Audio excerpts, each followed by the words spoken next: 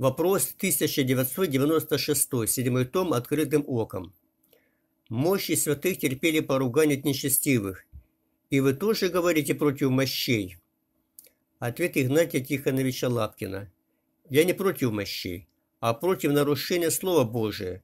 Мощи нужно почитать, а значит погрести их со всеми почестями и никогда к ним больше не прикасаться. Бытие 3.19. «И сказал Господь Бог, поте лица твоего будешь есть хлеб, доколе не возвратишься в землю, с которой ты взят, ибо прах ты и в прах возвратишься». Деяние 8.2. Стефана же погребли мужи благоговейные и сделали великий плач по нем. Иов 14.12. Так человек ляжет и не станет. До скончания неба он не, при... он не пробудится и не воспринят от сна своего. Если бы монахи не придумали искать святости в кусочках от расчлененного тела трупа умерших, то и нечестивым не нужно было проводить акцию по вскрытию мощей.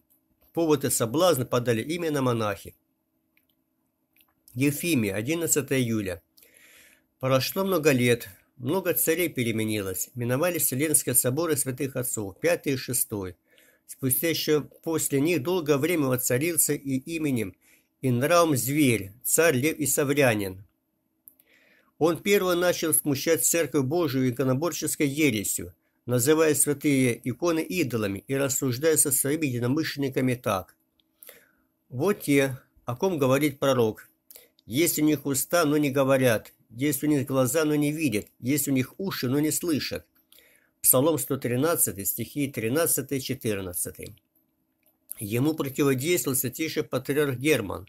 Царь с бесчестием сверх его с престолом, а на его место возвел еретика, своего единомышленника. Таким же образом и других правоверных архиереев, противившихся его ереси, он с бесчестием отправлял в изгнание.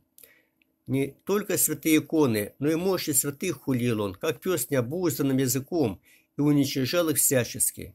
Видя и слыша чудесах от честных мощей святой великомученицы Ефимии, он терзался в душе в зависти, но не осмелился ничего дурного с ними сделать, боясь народного мостания мятежа. Он выдумал такую коварную вещь. Он пошел ночью со своими единомышленниками, тайно в церковь святой Ефимии и открыл гроб его, которого не могли открыть персы. Попустил Господь Бог руками зловерных крестьян коснуться честных мощей невесты своей, которые сохранили неприкосновенными от неверных язычников. Персы грешили в неведении, а христиане отважились на злодеяние, зная, что делали, что делали. Попустил им Бог к большому их осуждению совершить бесчестие святое. Злочестивый царь, открыв гроб, вынул оттуда с деревянным ковчегом чудотворной и нетленной мощи святой Ефимии и вместо них положил какие-то гнилые вонючие кости, которые нарочно приготовил для, для этого, и опять накрыв доской, ушел, унесший с собой воровским образом те чистые мощи и положил их в одну из комнат царского дворца. Сестры же его и дочери тайно приходили к святым мощам, ходили благовониями, освещали свечами, почитая их и с любовью преклоняясь им.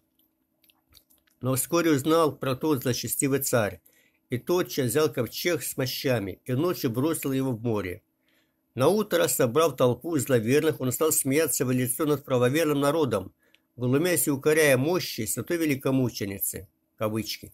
«Слушайте, глупые, посмотрите на обман, который вас прельщают, называя нетленными чудотворными мощами славной Ефимии, Откройте гроб и посмотрите, правда ли это, кавычки закрыты. И тотчас послал своих приближенных с народом открыть гроб. Пошли, открыли и увидели все гнилые вонючие кости. Еретики тогда начали смеяться и глумиться над правоверными, называя их поклонниками гнилых костей. Правоверные же удивлялись такой неожиданности, недоумевали, стыдились, жалели. Тогда многие подумали о всех чудесах святой, что это был обман. Плевали на те гнилые кости, выбросили их вон а также и тот мраморный гроб вытащили из церкви, храм Божий и храм Божий обратили в мерзое запустение. Его подвергли большому поруганию, и церковь-то стала, как какой-нибудь пустой вертеп или скотское стойло, или даже хуже, потому что там было место для всякой скверности и нечистот. Потом внутри церкви кузнецы устроили кузнечные печи и стали заниматься там своим ремеслом. и где прежде слышалось пение божественных слабословий, оттуда стали раздаваться звуки молотов, ударяющих по железу на наковальне. Послышались нелепые голоса сквернословия и вещины сговор людей. Эти ремесленники жили в пустой церкви с женами и детьми, а в святом алтаре, как в закрытом месте, устроили себе отхожее место. И долго теперь терпел Бог такие дела, людей, такое сквернение в святыне, пока не погубил злых злом, опять воздвиг православие, очистил и осветил святое место, сделал его опять селением славы своей.